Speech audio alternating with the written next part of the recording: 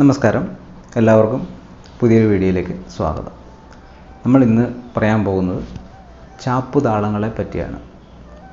നമുക്കെല്ലാവർക്കും അറിയാം സപ്തതാളങ്ങൾ നമ്മൾ പഠിച്ചതാണ്. ഏതൊക്കെയാണ് സപ്തതാളങ്ങൾ? അതെങ്ങനെ മുപ്പത്തഞ്ച് താളമാവുന്നു? അത് പിന്നീട് നൂറ്റി എഴുപത്തഞ്ച് താളമാവുന്നത് എങ്ങനെയെന്നെല്ലാം വിശദമായിട്ട് നമ്മൾ കഴിഞ്ഞ വീഡിയോയിൽ പറഞ്ഞിട്ടുണ്ട്.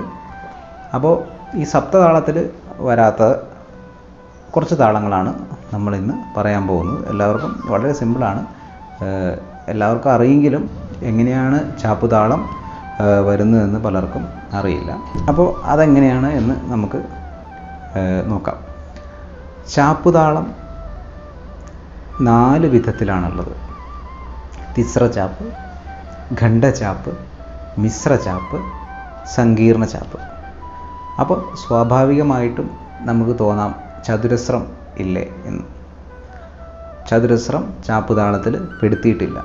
കാരണം ചാപ്പുതാളത്തിന്റെ ഒരു പ്രത്യേകത എന്ന് പറഞ്ഞാൽ നമ്മുടെ ബീറ്റ് വരുമ്പം ഒരു സൈഡ് കുറവും ഒരു സൈഡ് കൂടുതലായിരിക്കും. എപ്പോഴും ഒരു ഇംബാലൻസ് ആയിരിക്കും. ഒരു പാർട്ട് കുറവാണെങ്കിൽ മറ്റേ പാർട്ട് കൂടുതലായിരിക്കും. അപ്പോൾ അതാണ് ചാപ്പുതാളത്തിന്റെ പ്രത്യേകത. എല്ലാം ഒരുപോലെയാണെങ്കിൽ നമുക്ക് ആയുതാളം ചതുരശ്രം എല്ലാം ഉണ്ടല്ലോ. അപ്പോൾ ചാപ്പുതാളത്തിന്റെ ആവശ്യമില്ല. അപ്പോൾ ചാപ്പുതാളത്തിന്റെ പ്രത്യേകത എന്ന് പറഞ്ഞാൽ ഒരു സൈഡ് കൂടുതലും ഒരു സൈഡ് കുറവായിരിക്കും. അപ്പോൾ അതാണ് ചാപ്പുതാളത്തിന്റെ ഇപ്പം നമ്മൾ മിശ്രചാപ്പ് നമുക്ക് എല്ലാവർക്കും അറിയാം. മിശ്രചാപ്പ് തക്കിട്ട തക്ക ദിമ്മി one two three one two three four അല്ലേ? വൺ ടു ത്രീ എന്ന് പറയുന്നത് എന്റെ ഫസ്റ്റ് പാട്ട് മൂന്നാണ്.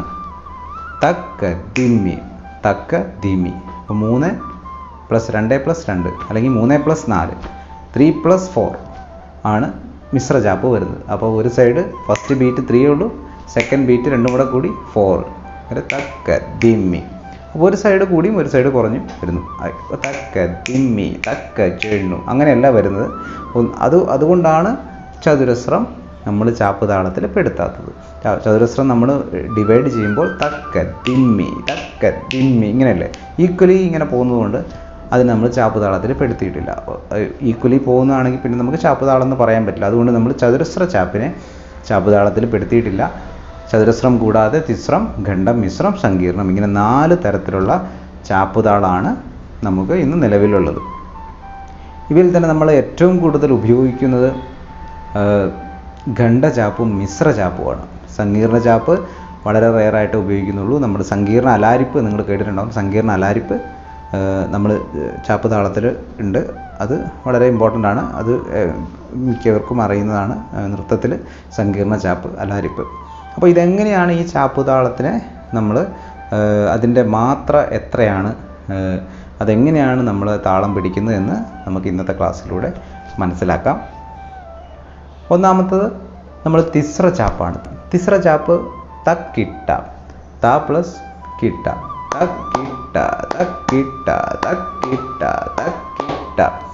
അത് നമ്മൾ നോർമലി ഉപയോഗിക്കുന്നതാണ് തക്കിട്ട. നമ്മൾ തിസ്രഗതിയിൽ വരുമ്പോഴും തക്കിട്ട തക്കിട്ട തക്കിട്ട എന്ന് വരാറുണ്ട്. അപ്പോൾ എല്ലാവർക്കും അറിയായിരിക്കും. പക്ഷെ നമ്മൾ മാത്രം പറയുമ്പം തിസ്ര ചാപ്പ് ആറ് മാത്രയാണ് പറയുന്നത്. നമ്മളെപ്പോഴും തിസ്ര മൂന്നാണെങ്കിലും അതിന്റെ മാത്ര വരുന്നത് ആറ് മാത്രയാണ്.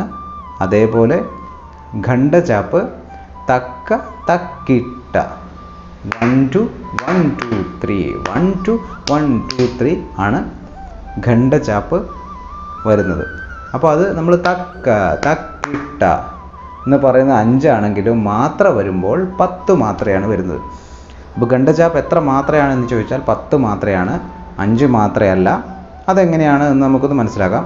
ഇപ്പോൾ തക്ക തക്കിട്ട എന്നാണെങ്കിലും ആ തകയ്ക്ക് പകരം അവിടെ തകതിമി പറയാനുള്ള സ്പേസ് ഉണ്ട്. അതിനെ നമ്മൾ ചൊല്ല് കുറച്ച് പറയുന്നേ ഉള്ളൂ. ഇപ്പം തക്ക ദിമി തക്ക തക്ക ജണു തക്ക ദിമി തക്ക തക്ക ജണു. ഖണ്ഡചാപ്പിന്റെ റിയൽ മാത്ര എന്ന് പറയുന്നത് പത്തു മാത്രയാണ്. അത് തക്ക ദീമി തക്ക തക്ക ജണു തക്ക ദീമി തക്ക തക്ക ജണു തക്ക ദീമി തക്ക തക്ക ജണു തക്ക ദീമി തക്ക തക്ക ജണു താം. തക്ക തക്കിട്ട എന്ന് പറയാറുണ്ട്. തക്ക തക്കിട്ട അതും തെറ്റില്ല പറയാം. പക്ഷേ മാത്ര വരുമ്പോൾ തക്ക തക്കിട്ടല്ല തക്ക ദിമി തക്ക തക്ക ചെണു തക്ക ദിമി തക്ക തക്ക ചെണു അത് മൂന്ന് കാലത്തിലൊക്കെ പ്രാക്ടീസ് ചെയ്യാം. താളം ഉറപ്പിക്കാനായിട്ട്. അത് ഞാൻ പിന്നീട് പറഞ്ഞു തരാം. അടുത്തത് മിശ്ര ചാപ്പ്. മിശ്ര ചാപ്പ് എന്ന് പറയുന്നത് തക്കിട്ട തക ദിമി തക്കിട്ടയ്ക്ക് ഒരു ബീറ്റ് തകയ്ക്കൊരു ബീറ്റ് ദിമിക്കൊരു ബീറ്റ്. തക്കിട്ട തക്ക ധിമ്മി തക്കിട്ട തക്ക ധിമ്മി തക്കിട്ട തക്ക ധിമി. മിശ്രചാപ്പ് മാത്ര വരുമ്പോൾ പതിനാല് മാത്ര വരും. ഏഴ് മാത്രയല്ല മാത്ര പറയുമ്പോൾ പതിനാല് മാത്രമാണ് പറയേണ്ടത്. കാരണം തക്കിട്ട എന്ന് പറയുമ്പോൾ അവിടെ തക്കിട്ട തക്കിട്ട. അതിനുള്ള സ്പേസ് ഉണ്ട്. തക്കിട്ട തക്കിട്ട തക്ക ദിമി തക്ക ജുണു തക്കിട്ട തക്കിട്ട തക്ക ദിമി തക്ക ജുണു അപ്പോൾ തക്കിട്ട തക്കിട്ട എന്ന് പറഞ്ഞാൽ ആറാണ്. തകതിമി നാലാണ്. പ്ലസ് തകതിമി ആറ് നാല് പത്ത്. നാലും പതിനാല്. അപ്പോൾ തക്ക ദിമി തക്ക തക്ക ദിമി തക്ക ജണു തക്ക ദിമി തക്ക തക്ക ദിമി തക്ക ജണു താം. ഇതാണ് മിശ്ര ചാപ്പിന്റെ ചൊല്ലു വരുന്നത്. അടുത്തത് സങ്കീർണ ചാപ്പാണ് സങ്കീർണ ചാപ്പ് തക്ക ദിമ്മി തക്ക തക്കിട്ട തക്ക ധിമ്മി തക്ക തക്കിട്ട എന്ന് വരും. തക്ക തിമ്മി തക്ക തക്കിട്ട. അത് പതിനെട്ട് മാത്രമാണ് വരുന്നത്.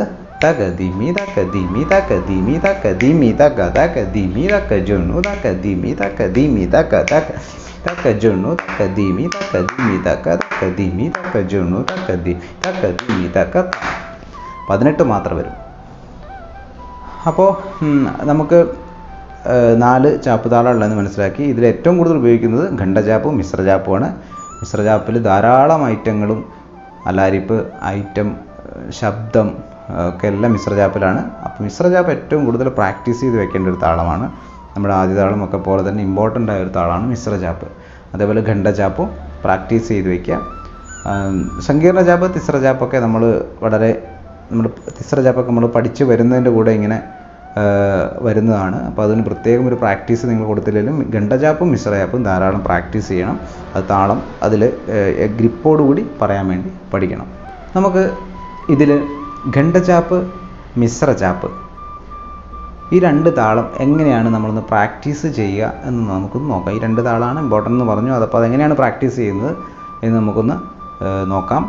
ഖണ്ഡചാപ്പിന്റെ ചൊല്ല് ഞാൻ പറഞ്ഞു തക്ക തക്കിട്ട എന്ന് പറഞ്ഞു. അതിന് നമ്മൾ മാത്ര വയസ്സിൽ പറയുമ്പോൾ തക തിമി തക്ക തക്ക ജണു എന്ന് പറയും. അപ്പോൾ തക തിമി തക്ക ജണു മൂന്ന് കാലത്തിൽ നമ്മൾ പറഞ്ഞ് പ്രാക്ടീസ് ചെയ്യാം. മൂന്ന് കാലത്തിലെങ്കിലും പറഞ്ഞ് പ്രാക്ടീസ് ചെയ്യുക. ഒന്നാം കാലം ഒരു പ്രാവശ്യം പറയുക രണ്ടാം കാലം രണ്ട് പ്രാവശ്യം പറയുക മൂന്നാം കാലം നാല് പ്രാവശ്യം. ഇത്രയേ ഉള്ളൂ.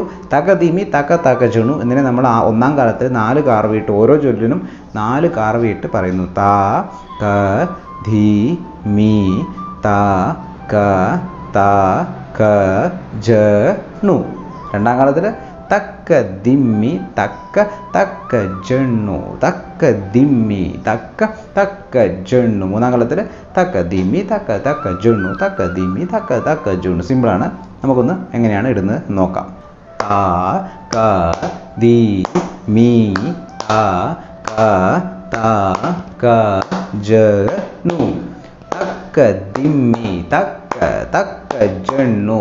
തക്ക ദിമ്മി തക്ക തക്ക ജണ്ണു തക്ക ദിമി തക്ക തക്ക ജണ്ണു തക്ക ദിമി തക്ക തക്ക ജണ്ണു തക്ക ദിമി തക്ക തക്ക ജണ്ണു തക്ക ദിമി തക്ക തക്ക ജണ്ണു ഇപ്പം കണ്ട ജാപ്പ് മനസ്സിലായെന്ന് വിചാരിക്കുന്നു. അടുത്തത് മിശ്ര ജാപ്പ്.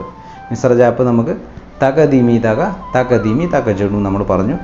തക്കിട്ട തക്ക ദിമി അതിന് പകരം തക ദിമി തക തക ദിമി തക ജണു അത് ഇതേപോലെ തന്നെ ഒന്നാം കാലം രണ്ടാം കാലം മൂന്നാം കാലം പറയുക. ഒന്നാം കാലത്തിൽ നാല് കാർവ രണ്ടാം കാലത്തിൽ രണ്ട് കാർവ മൂന്നാം കാലത്തിൽ സെയിം ഒരു കാർവ വെച്ചിട്ട് തന്നെ വരും. അപ്പോൾ അതെങ്ങനെയാണ് നോക്കാം. മൂന്നാം കാലം ഞാൻ ജസ്റ്റ് ഒന്ന് എങ്ങനെയാണെന്ന് കാണിക്കാം.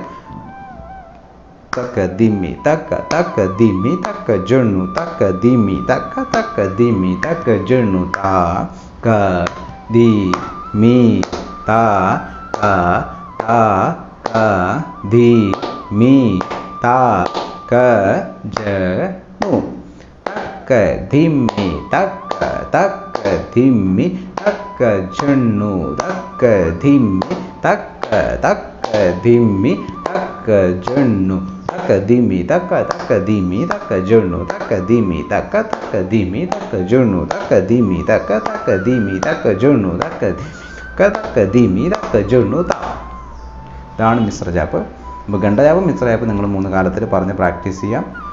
എല്ലാ താളവും പറഞ്ഞ് പ്രാക്ടീസ് ചെയ്യാം. ഗണ്ടജാപ്പ് മിശ്രജാപ്പ് എങ്കിലും പ്രാക്ടീസ് ചെയ്ത് കറക്റ്റാക്കുക അത് വളരെ ഇമ്പോർട്ടന്റ് ആയതുകൊണ്ട് മറ്റു ജാപ്പും സങ്കീർണ ജാപ്പൊക്കെ വളരെ റയറാണ് അത് ഇടയ്ക്ക് തക്ക ദിമ്മി തക്ക തക്കിട്ട തക്ക ദിമ്മി തക്ക തക്കിട്ട ഇത് പ്രാക്ടീസ് ചെയ്യുക. നമ്മളിനി പഞ്ചനടകൾ പഠിക്കുമ്പോഴൊക്കെ ഇതിന്റെ ചൊല്ലിന്റെ വെറൈറ്റി ആയിട്ട് പ്രാക്ടീസ് ചെയ്യുന്നതായിരിക്കും. അപ്പോൾ ചാപ്പുതാളം എന്താണെന്നുള്ളത് ബേസിക്കായിട്ട് മനസ്സിലാക്കുക. ചാപ്പുതാളത്തിൽ നമ്മൾ മാത്ര പറയുമ്പം ശ്രദ്ധിക്കുക കാൽക്കുലേറ്റ് ചെയ്യുമ്പം. ഈ ചാപ്പുതാളത്തിൽ നമ്മൾ ഗണ്ടചാപ്പിലും മിശ്രചാപ്പിലും എങ്ങനെയാണ് തതികിട്ടത്വം പറയുന്നത് എന്ന് നമുക്ക് അടുത്ത വീഡിയോയിൽ നമ്മൾ പഠിക്കുന്നതായിരിക്കും. അപ്പോൾ എല്ലാവർക്കും നന്ദി.